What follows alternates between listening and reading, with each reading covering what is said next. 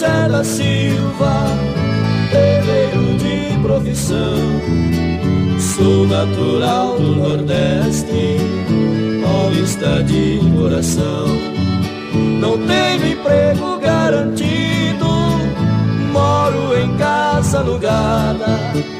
Meu salário é dividido pra mulher e filhos, não me sobra nada.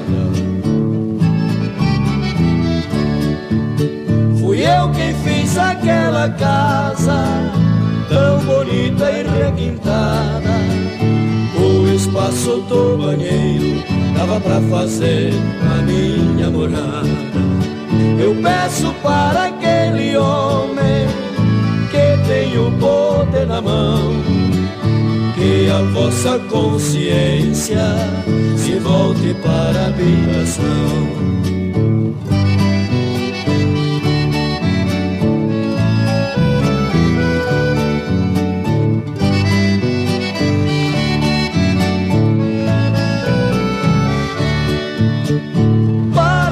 Gastar dinheiro com energia nuclear. O que o povo precisa é de casa pra morar. Peço trégua ao padrão no preço do aluguel, pra que não lhe saia caro uma morada no céu. É triste ver um pedreiro sem poder morar. É duro ver o estrangeiro, dono do dinheiro e do meu lugar. É triste ver um brasileiro, profissão pedreiro, sem poder morar.